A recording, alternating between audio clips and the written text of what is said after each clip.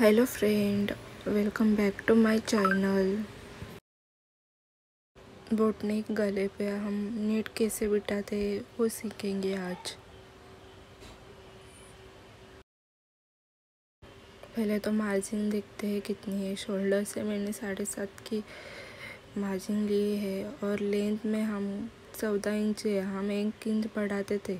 अभी हमको दो इंच बढ़ाना है। क्योंकि ये पाइपिंग लगाने के लिए हम नीचे से कटिंग करेंगे, इसलिए हमको दो इंच एक्स्ट्रा रखना पड़ेगा। और चेस्ट का माप है दस इंच की छाती है, बारह इंच की रख दिए। पूरी वीडियो हाँ देखने के लिए प्लीज़ सब्सक्राइब ज़रूर कीजिए।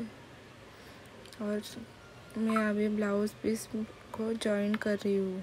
मतलब अस्तर को ब्लाउज पे जॉइन किया है। अभी उसको नेक की मार्जिन बताती हूँ आपको, कैसे कितना लेने का और कितना नहीं।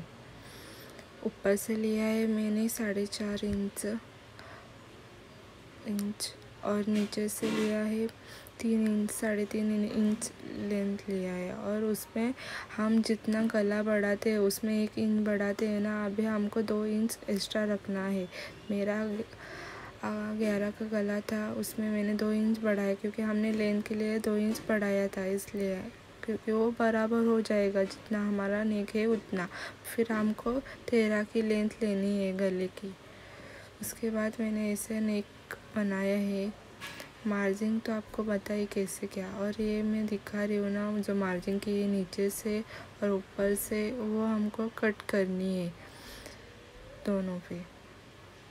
इसे कट करके दिखेगा आपको। और जो कट किया है ना दोनों भी, वहाँ पे हमको पाइपिंग लगानी है दोनों साइड में। मतलब ऊपर के साइड में राउंड में और नीचे के साइड में पूरा राउंड है, उसमें पाइपिंग लगानी है।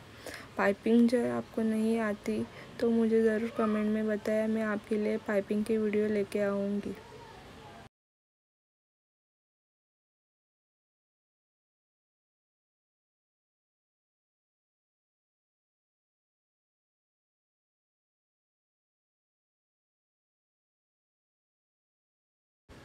उसके बाद हमारा दोनों भी कपड़े में पाइपिंग लगाए, लगाई है। उसके बाद हमारे आर्मोल है, वहाँ से सिलाई लगाकर, सामने से सिलाई, डबल सिलाई लगानी है, क्योंकि वो निकलना नहीं चाहिए। फिर से एक बार आप सिलाई लगाओ। मैंने ही लगाई है, उसके बाद ऐसा हमारा नेक दिखेगा। उसके बाद हमारा जो नेक कट किया था ना, वो हमको रखना है, क्योंकि वो आपको पेपर में मार्जिंग करके उस पर हमारा, हमको नेट लगानी है, ऐसे पेपर पे चारों साइड से मार्च करने की। उसके बाद हमारा प्लेन नेट लेने का मतलब पहले नेट जॉइन करके, उसके बाद हमको प्लेटी ऐसे छोटे छोटे करके प्लेटी लगानी है। पहले तो मैंने जो राउंड बनाया है ना, उस पर पहले स्टिच करते हैं नेट की। पूरी साइड से। फिर थोड़े थोड़े करके प्लेटी लगानी है। छोटे छोटे करके। दोनों भी साइड से सेम सिलाई मार्जिन, सेम ऐसी पट्टी आनी चाहिए। ऐसे मेरा कपड़ा रेडी हो गया है। अभी उस पर बिठाना है, चारों तरफ़ से सिलाई लगाकर। उसके बाद वो पेपर जो हमने जॉइन किया है, वो निकाल, निकालना है।